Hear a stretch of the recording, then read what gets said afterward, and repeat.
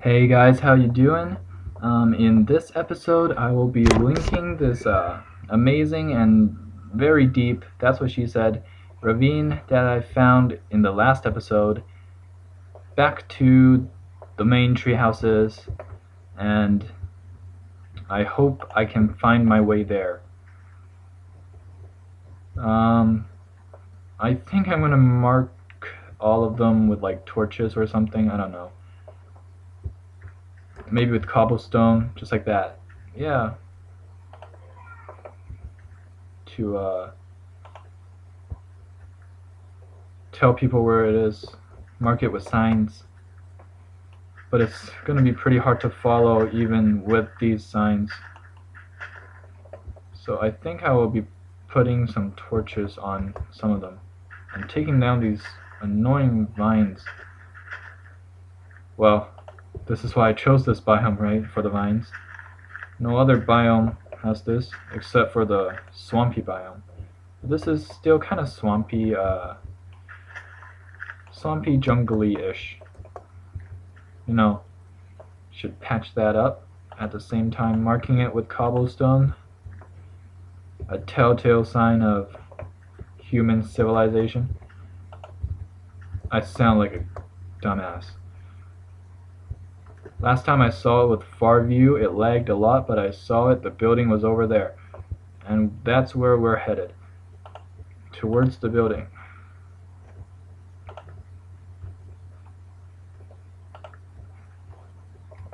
I'm pretty desperate to link this place up. Because that would be just awesome. I have no idea how to get get down from here? Should I use uh, leaves to link it or something? But I know that doing this is probably going to be pretty boring, so I thought of a topic to talk about while I link the two places back together. And that topic is automatic hand soap dispensers. Think about it for a moment. How dumb does that sound? Initially, it sounds like, oh, okay, breakthrough in technology. Now, it's, now they're automatic. But once you think about it, and I mean really think about it, okay? Just think about it. Automatic hand soap dispenser. Why? Okay, I saw it a, in, in a commercial, right? And the the advertising guy was like, so uh, now you don't have to touch these germ-filled buttons on the hand soap bottle. And it's cleaner. But the thing he doesn't realize is there's soap in that dispenser. It's called an automatic hand soap dispenser right? So okay, this is what would happen um, if the dispenser is not automatic. You press the button for the soap to come out, and now there's bacteria on your hand because there's bacteria on the button. Fair enough. I understand that. However, you press the button for the soap to come out, and once the soap comes out, you clean your hands, you wash your hands. That's what a dispenser is for. So why does it have to be automatic? You're gonna clean your hands anyways. You're just wasting time on like an extra $10 right there. I know it's not much, but why would you waste your money on something that useless? I don't get it. That's just plain stupid and useless and idiotic. And it was it was a white person commercial. You do not see this stuff like China does, will not air this stuff in their commercials. They'll they'll just see that commercial and they'll be like, "What kind of retard? What the? Who would buy this?"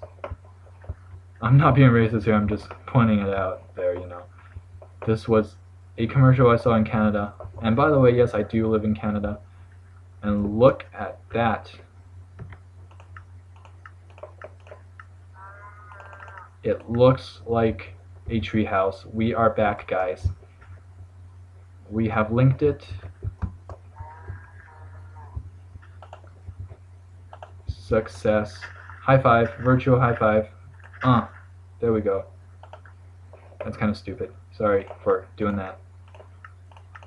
Um, yeah, but you get my point, right? It's so excruciatingly dumb.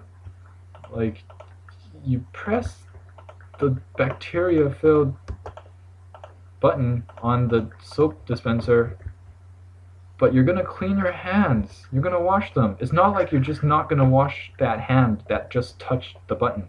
You are gonna wash it. And if you are gonna wash it, then what's the point of having it being automatic? And here's another fault with the automatic dispenser. It might give too much soap and waste. It's, it's wasteful. How does the automatic dispenser know how much amount you want? It doesn't, which means you're gonna waste soap. Yeah, so don't waste soap and don't waste your money. Do not buy those stupid dispensers that are stupid. And I think this turned into more of a rant than anything else. I am so sorry. But uh, I'm I'm glad because now we know a way to the ravine and I got all that shit out of my system. But you will not catch me dead with a I will not be caught dead owning one of these automatic hand soap dispensers. It's not a big deal, but oh yes it is, it's a big deal. It's a big, big deal. Okay guys, uh, I think you get my point. and I still haven't given my diamond back to Steven yet. He has not found out, but if he does, he's gonna be pissed. He's gonna be like, you stole my diamond, you motherfucker. And then I'm gonna end up like that cow. He's gonna shoot me right in the head. GG. I'm gonna spend the night in his house, his little shroom house, getting high just by living in your own house. That is a deal. That is a big deal. You know what? I feel like I owe him, so I'm gonna give him a raw beef. Give him some say saplings. Give him some. Okay, I guess I'm just giving him shit that I don't want. Sorry, Steven. I'll give him one seed. He'll be like, where did that come from? I can spend that. Well, peace, guys. I will see you in the next episode.